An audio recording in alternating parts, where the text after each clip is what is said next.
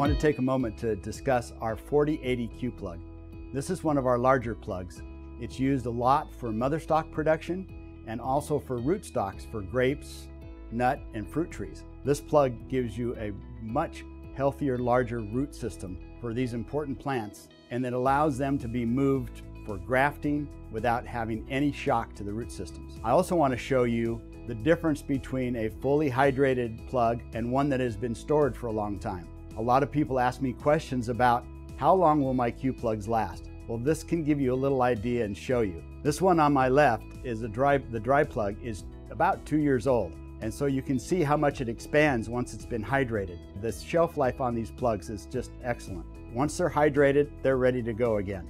This is the 36 count star tray that we use with our 4080 Q plug. This tray has been excellent for this plug.